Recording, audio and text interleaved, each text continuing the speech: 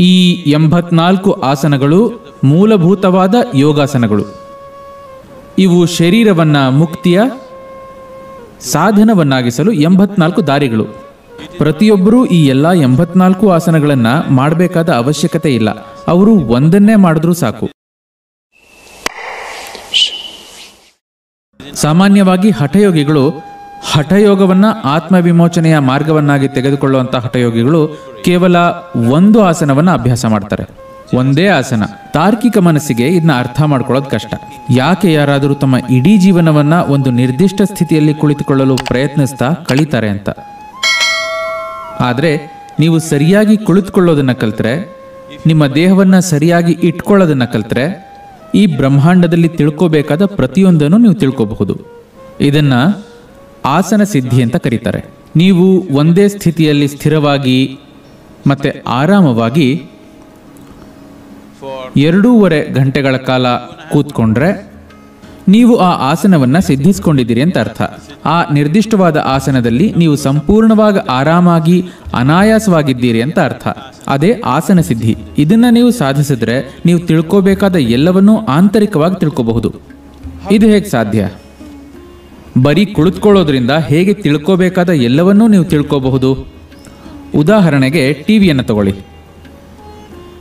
TV ಸ್ವಲ್ಪ ಎಲೆಕ್ಟ್ರಾನಿಕ್ಸ್ಗಳಿಂದ ಕೂಡಿದಂತಹ ಒಂದು ಪೆಟ್ಟಿಗೆ. ಆದರೆ ಅದೇ ಒಂದು ಜಗತ್ತಾಗಿಬಿಡುತ್ತೆ. ಇಡೀ ಜಗತ್ತೇ ಅದರ ಒಳಗೆ ಹರಿದು ಬರುತ್ತೆ. ಈ ಟೆಲಿವಿಷನ್ ಒಳಗೆ, ನಾವು ಟೆಲಿವಿಷನ್ ಅಂತ ಕರೆಯೋ ಈ ಪೆಟ್ಟಿಗೆ ಒಳಗೆ. ಯಾಕೆ ಅಂದರೆ ಅದಕ್ಕೆ ಸ್ವೀಕರಿಸುವ ಒಂದು ಶಕ್ತಿ ಇದೆ. ನೀವು ಆಂಟೆನಾವನ್ನು ಸರಿಯಾಗಿಟ್ರೆ ಅದನ್ನು ಸರಿಯಾಗಿ ಅಡ್ಜಸ್ಟ್ ಮಾಡಿದರೆ ಇಡೀ ಜಗತ್ತೇ ಹರಿದು ಬರುತ್ತೆ, ನೀವಿರೋ ಸ್ಥಳಕ್ಕೆ, ಅಂದರೆ ಈ ಪೆಟ್ಟಿಗೆ ಒಳಗೆ. ಆದರೆ ಅದನ್ನು ಸರಿಯಾಗಿ ಇಟ್ಟಿಲ್ಲ ಅಂದರೆ ಅದೇ ಉಪಕರಣ, ಎಲ್ಲ ಇದೆ ಅದರೊಳಗೆ, ಆದರೆ ಅದಕ್ಕೇನು ಮಾಡೋಕ್ಕಾಗಲ್ಲ. ಮನುಷ್ಯ ಕೂಡ ಹೀಗೇನೆ. A human being is an individual human being is who he is.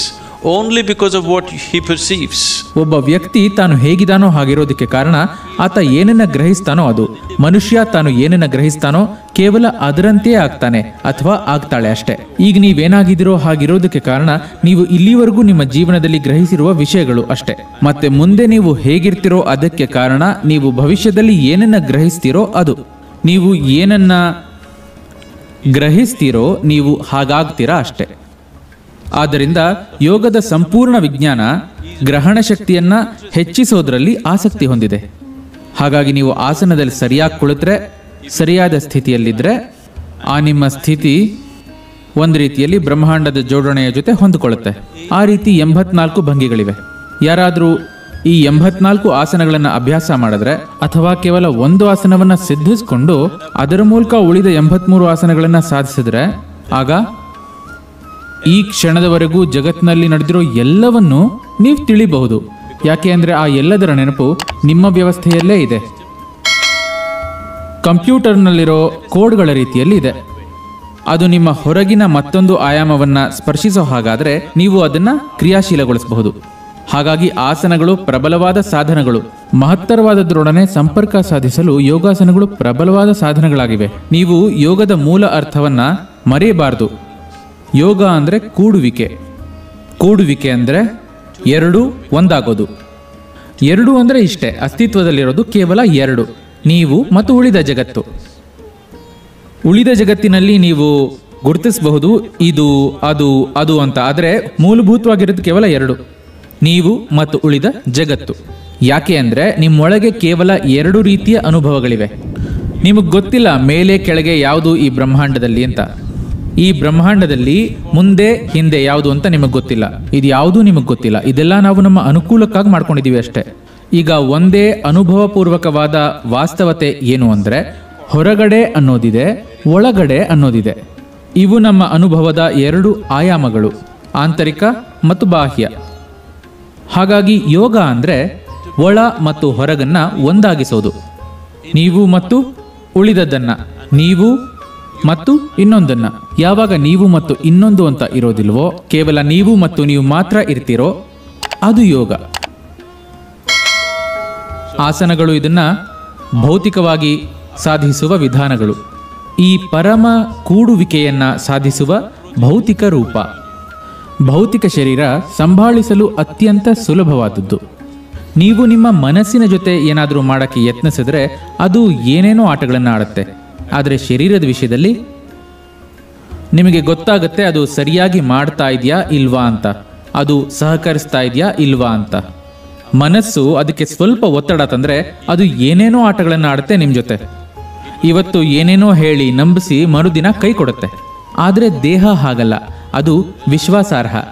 ನೀವದನ್ನು ಸರಿಯಾಗಿ ನಡೆಸ್ಕೊಂಡ್ರೆ ಯೋಗಾಸನಗಳು ಖಂಡಿತವಾಗಿಯೂ ನಿಮ್ಮನ್ನು ಆ ಪರಮ ಒಂದಾಗುವಿಕೆಯ ಸಾಧ್ಯತೆಯತ್ತ ಕೊಂಡು ಹೋಗುತ್ತವೆ ಅದರ ಜೊತೆನೆ ಆಸನಗಳನ್ನು ಮಾಡೋದ್ರಿಂದ ಆ ಪರಮ ಸ್ಥಿತಿ ಉಂಟಾಗೋದಕ್ಕೆ ಮೊದಲು ನಿಮ್ಮ ಆಂತರ್ಯದಲ್ಲಿ ಹೊಂದಾಣಿಕೆಗಳಾಗಿ ಸಹಜವಾಗಿಯೇ ನಿಮ್ಮಲ್ಲಿ ಆರೋಗ್ಯದ, ಉತ್ಸಾಹದ, ಆನಂದದ ಮತ್ತು ಸಮತೋಲನದ ಒಂದು ವ್ಯವಸ್ಥೆ ಏರ್ಪಡುತ್ತೆ. ಸಮತೋಲನವನ್ನ ಆಧುನಿಕ ಸಮಾಜಗಳು ಅಸಡ್ಡೆ ಮಾಡಿವೆ ಮತ್ತು ಅದಕ್ಕೆ ಇಂದು ದೊಡ್ಡ ಬೆಲೆಯನ್ನೇ ತೆರೆತಿದೆ.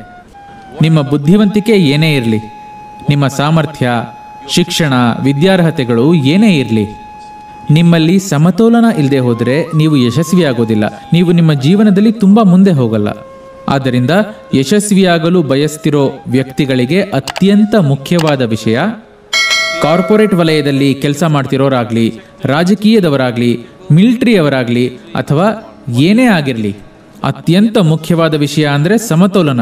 ಬಾಹ್ಯ ಸನ್ನಿವೇಶಗಳಿಂದ ವಿಚಲಿತವಾಗದಂತಹ ಸಮತೋಲನ ನಿಮ್ಮಲ್ಲಿದ್ದರೆ ಮಾತ್ರ ನೀವು ನಿಮ್ಮೊಳಗಿನ ಸಾಮರ್ಥ್ಯ ಮತ್ತು ಬುದ್ಧಿವಂತಿಕೆಯನ್ನು ಸರಿಯಾಗಿ ಉಪಯೋಗಿಸೋದಕ್ಕೆ ಆಗೋದು. ಇಲ್ದಿದ್ರೆ ನಿಮ್ಮೊಳಗಿರೋ ಅತ್ಯದ್ಭುತವಾದ ಗುಣಗಳು ಕೂಡ ವ್ಯರ್ಥವಾಗತ್ವೆ ಈ ಸಮತೋಲನದ ಕೊರತೆಯಿಂದಾಗಿ. Yoga means balance. ಮತ್ತು ಹಠಯೋಗ ಅಂದ್ರೆ ಸಮತೋಲನ.